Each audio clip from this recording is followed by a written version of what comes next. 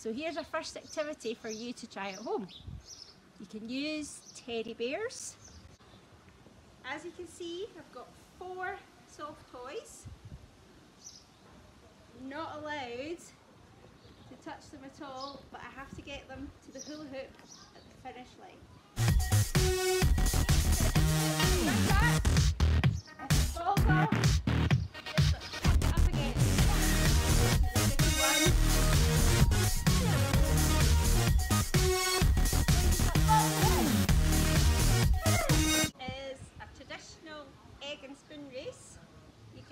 whatever you have in the house, so we're not using eggs, we're using potatoes and soup spoons.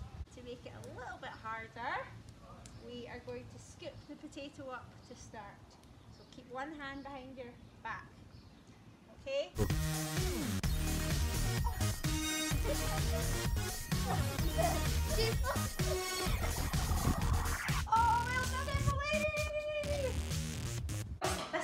next activity is called the toilet roll tower. All you need are six toilet rolls.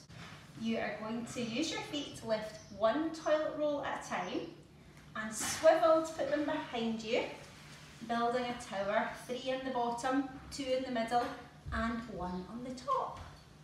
You only have 30 seconds to do it.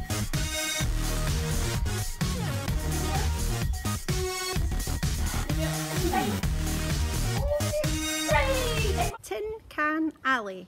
Now, if you have got any um, baked bean tins, spaghetti tins, try and collect them, um, wash them out and set them up in your garden.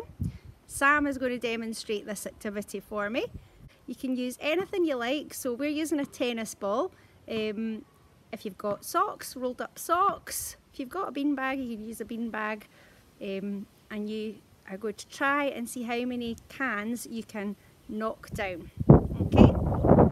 So we stacked up cans. Is going try to throw from a distance. That hula hoop to see how far back you could be. Sam is going to try very far back.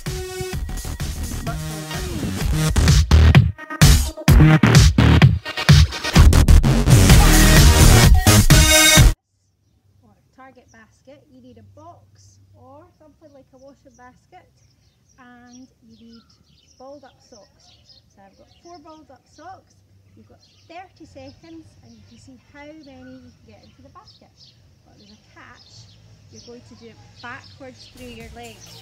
You take about two steps back from the basket before you start. 30 seconds, see how many you can do.